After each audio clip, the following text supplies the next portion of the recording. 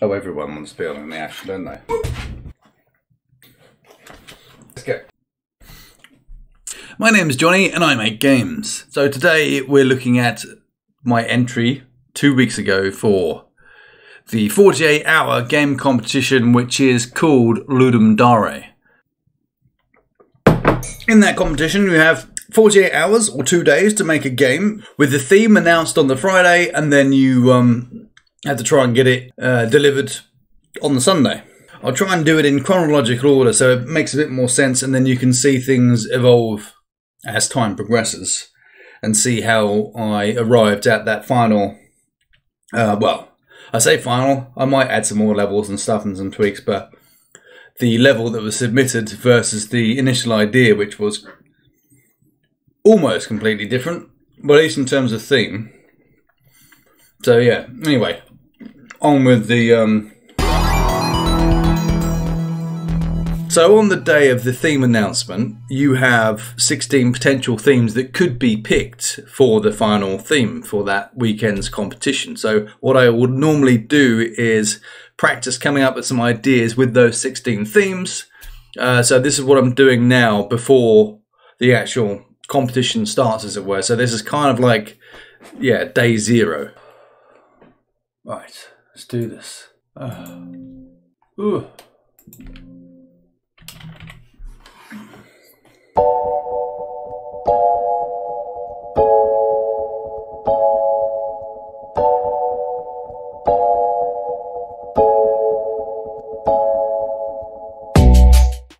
It's 10 past 8 on the Saturday. I uh, went to bed before the theme was announced, so this is me finding out for the first time what the theme is, I guess.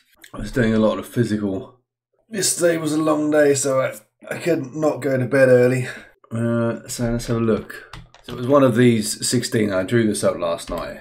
So something every 10 seconds, side effects, mutations, duplication, use it or lose it, nothing is permanent, corruption, shelter, parasite, overgrown, keep it moving, making connections, split, ascend, harvest, and you shouldn't mix those. So what did they actually go with? Oh, every 10 seconds? oh. Uh, okay. Oh, yeah, that's quite a cool idea. Although I can't, actually I shouldn't be looking because I might be um, inspired.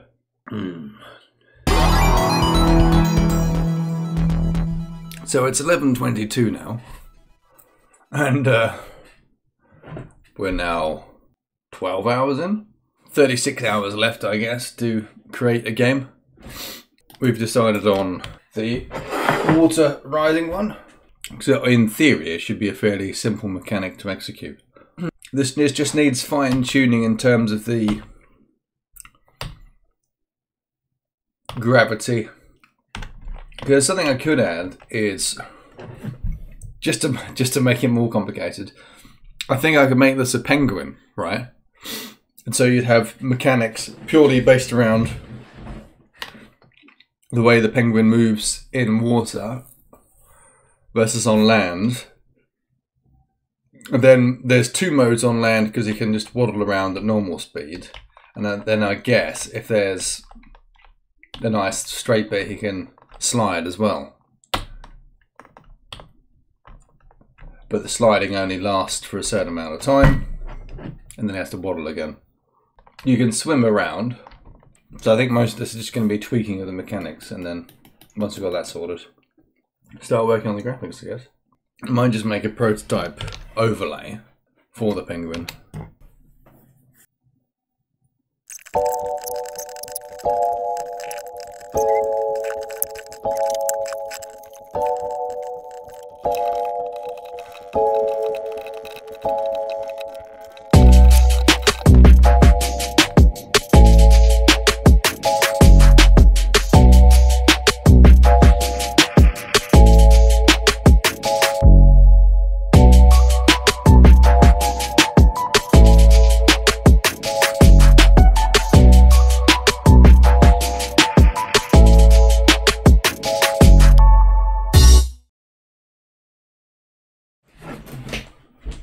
So this is the point where I lost my sprite sheet due to essentially this. So I hadn't updated Photoshop for a while, and uh, the new version has a, a bonus feature. In the old days, you'd have a folder and you'd have your PSD, which is your editable file, and then you just hit save as, like that, hit save as, and then you'd pick ping, and then you'd save it as a ping. You can't do that anymore. I don't know why. I have no idea why. You can't do that anymore. So you've got to go through this extra dialogue and save a copy. Um, we're on Windows, and yet, from what I understand, it's because of something Macintosh have changed with their operating system. So and I don't think it's been fixed yet. So there we go. Um, I lost all the sprites I was working on and just uh, had to go and take ten minutes to uh, to, regroup.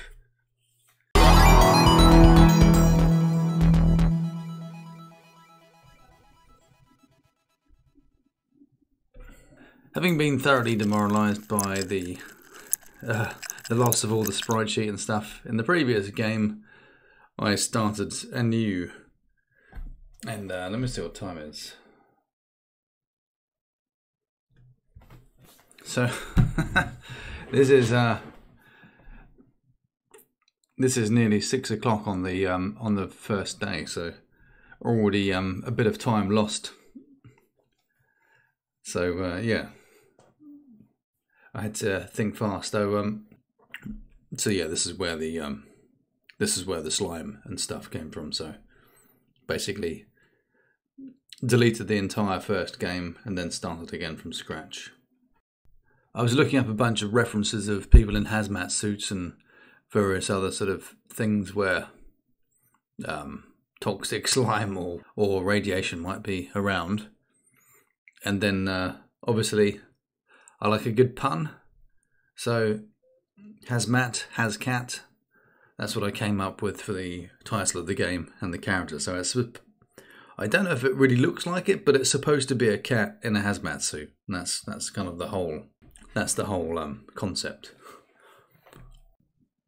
So my initial plan with Blender was to just use use it to model some quick sort of um, keyframe animations, trace over it with pixel art, and have a very traditional pixel art game like I had been working on with the penguin. So everything would look pretty much like everything else I'd previously made looked. But uh, with time running out, I explored just uh, rendering out the frames as they were.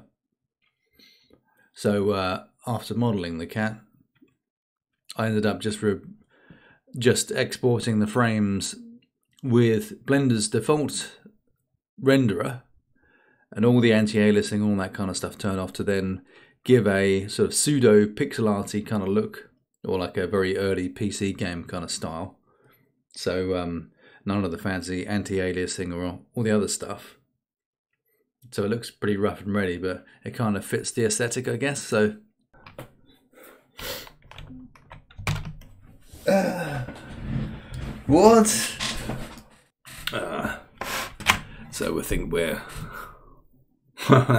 first day is over, and uh, not much to really show for it because, uh, yeah. So that's that's what I was working on.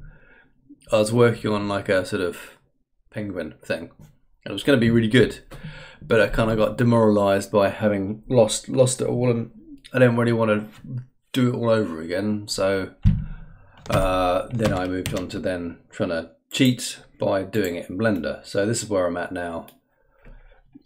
I'm modeling stuff in Blender.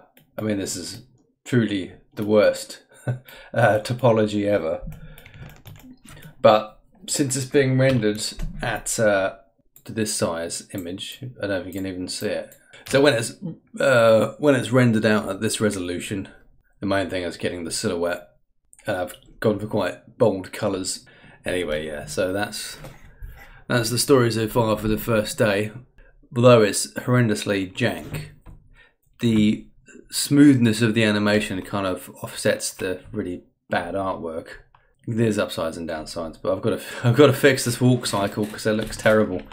I, don't know, I don't know why. I think it's because one of his legs is like flapping madly. So yeah, once I got the workflow down with Blender, it was pretty easy to start prototyping stuff and putting things together. So I used Blender to build a lot of the kind of assets from the railings to the spikes to the crate that wasn't used.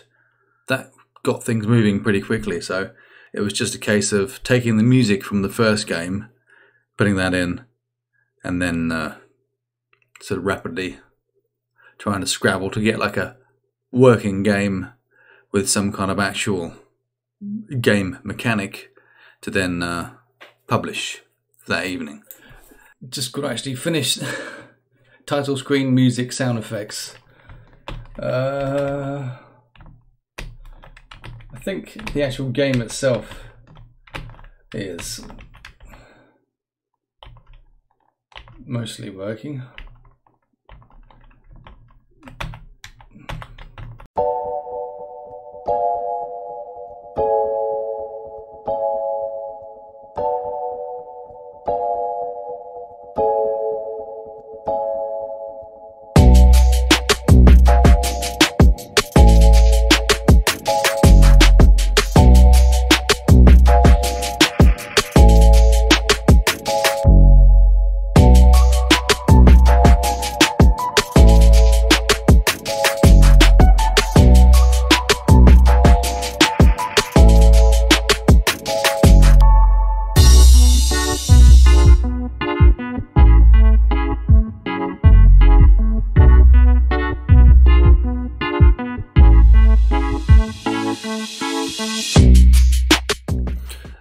Managed to submit with six six minutes to go, uh, and that was that.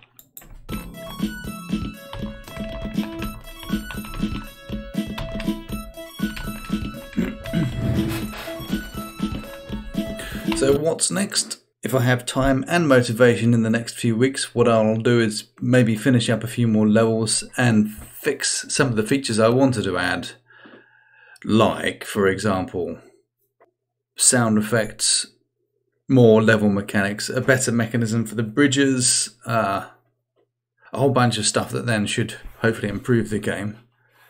Um, that I obviously ran out of time for because I essentially did it in one and a bit days rather than two because of the uh, the lost project for the first uh, however many hours and sleeping in,